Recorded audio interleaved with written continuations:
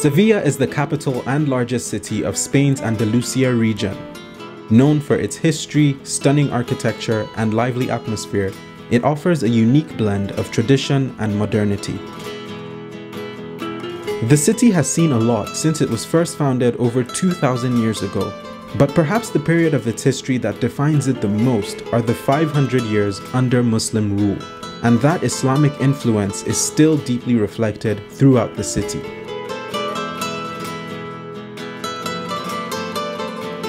It wasn't until the year 1248 that Sevilla would eventually be captured by the Christian armies of King Ferdinand III, and it has since remained a Catholic city.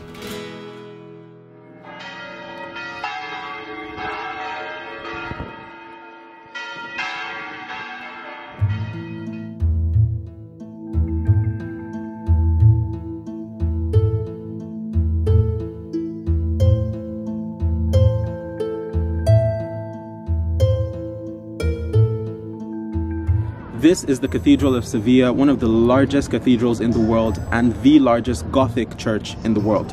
Interestingly enough, as far back as the 1100s, this building was originally a mosque until King Ferdinand III took over Sevilla and decided he wanted to make this structure a Christian symbol instead. The mosque was originally built facing Mecca, but the king said this was disrespectful to the Christian faith to have the new cathedral face the same direction as the mosque, so he had it broken down and reoriented to face the other direction. The popular story is that the people in charge of building this new cathedral said that they wanted to build a church so huge the world would think they had gone mad. And looking at the end result today, it's fair to say that they achieved their goal.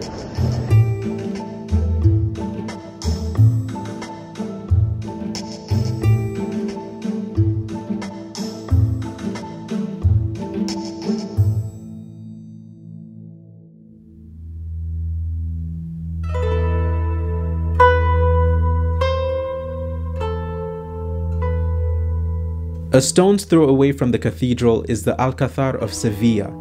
This breathtaking palace was originally built by the Moorish Muslim kings in the 10th century and later expanded by subsequent Christian rulers. It features a stunning mix of architectural styles including Gothic, Renaissance, and Mudéjar, and is known for its intricate tile work, ornate ceilings, and lush gardens.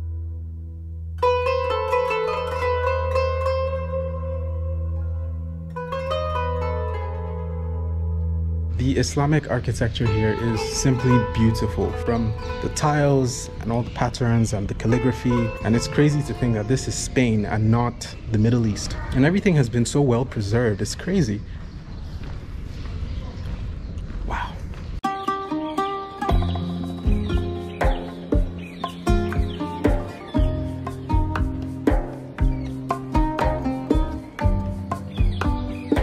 This part of the palace kind of looks like the monkey temple in Jungle Book. I think the stones look exactly the same, same kind of architecture,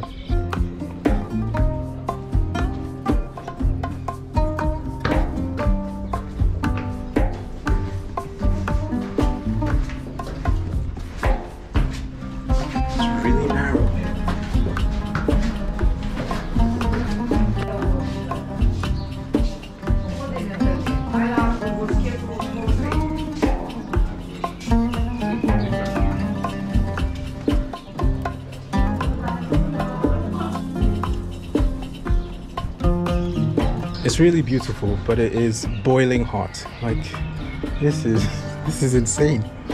It's been a while since I felt sun this hot.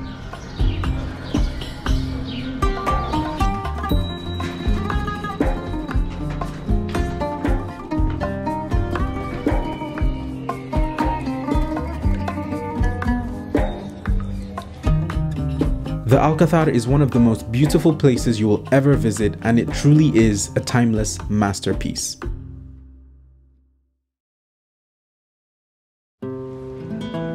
After my first few days of exploring Sevilla, I couldn't help but fall in love with this city.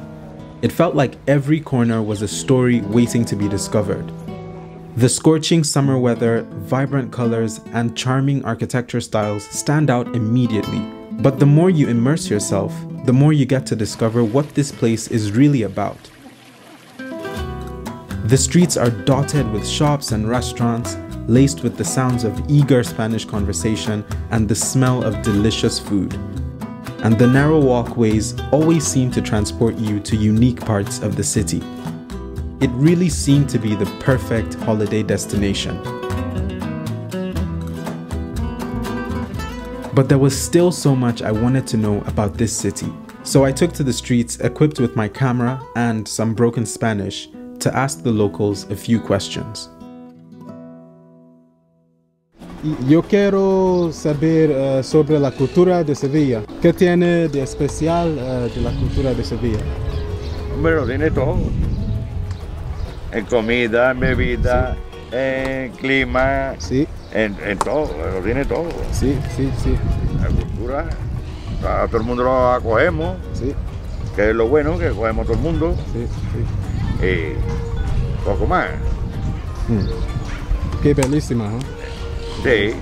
Pues Sevilla es una ciudad muy alegre, siempre hay ambiente en sus calles, es una ciudad donde se puede hacer cualquier actividad, sí. ya sea cultural, ir al cine, mmm, eh, pasear, eh, Sí, mil sí. cosas, siempre hay ambiente, siempre eh, hay algo que hacer. Eso es una de las cosas que más me gusta, que nunca te aburres. Sí. Pues lo que me gusta mucho de, de Sevilla es la gente, eh, las vibras que tiene, lo cariñosa que es, lo afectuosa que es y mm, no sé, la gente es como muy graciosa, tiene mucho arte, eso es lo que me gusta mucho de Sevilla. Y pues eh, la apreciación hacia la, cultura, la familia, em, también el flamenco, aquí se, se aprecia mucho la feria, eh, la Semana Santa, las tradiciones, me parece eso muy, muy bonito de aquí de Sevilla.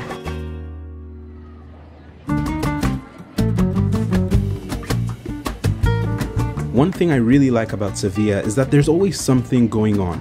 It's a very artsy city and you feel that everywhere you go. People are certainly not shy about expressing themselves.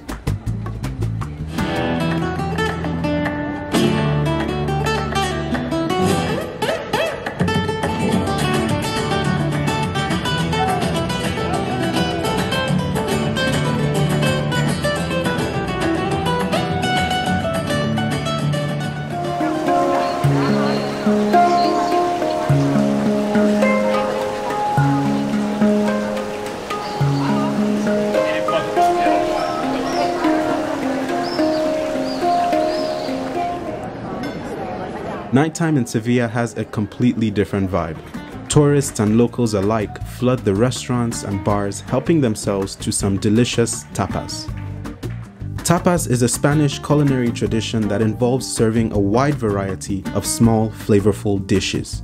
They are usually enjoyed with a drink and make for a popular social dining experience because everyone can just relax, sit, and bond over a meal.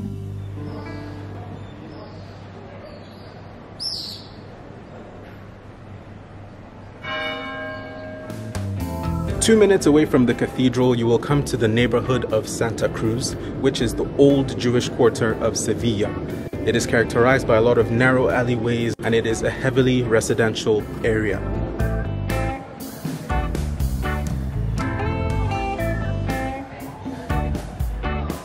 There's a lot of restaurants. It's like a very bubbly place. So it is a tourist hotspot, and I've heard a lot of tourists living here. I wouldn't even be surprised if this is like hostels or something like that. But yeah, very nice place. Very simple but classical, quaint architecture. It's really nice.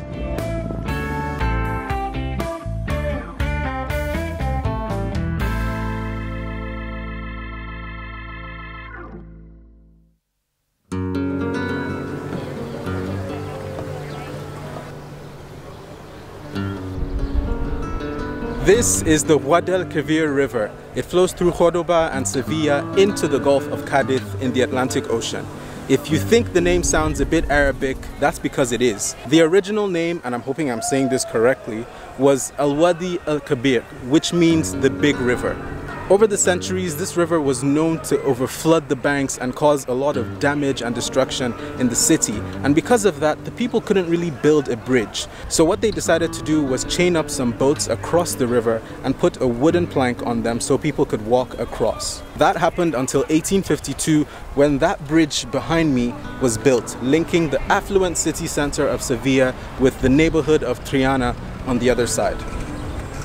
Triana wasn't as wealthy as the main city center, and because of that, it had to develop its own customs and personality. Nowadays, Triana is known as where the deep culture, character, and color of Sevilla are.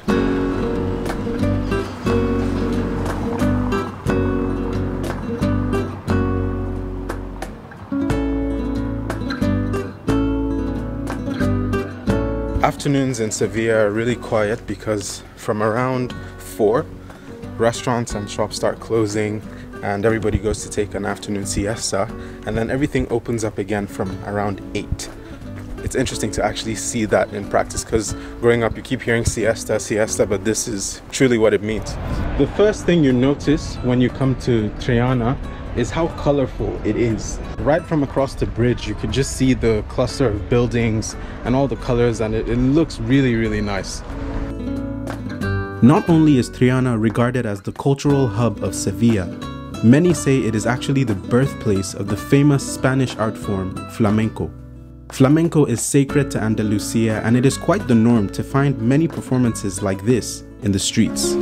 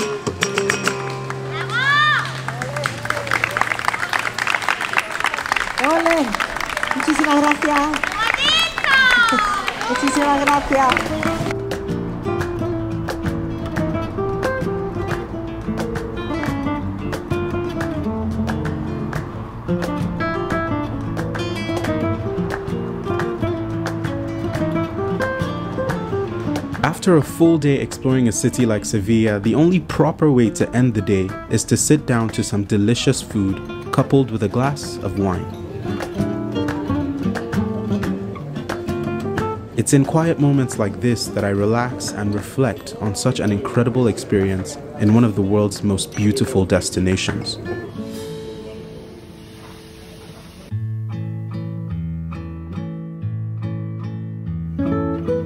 If I had to choose one word to describe Sevilla, it would be vibrant. From its lively streets to its rich cultural heritage and warm hearted people, it exudes an undeniable energy that is contagious. Sevilla's vibrancy reminded me to embrace life, but more importantly, to celebrate the ability to express myself and be creative.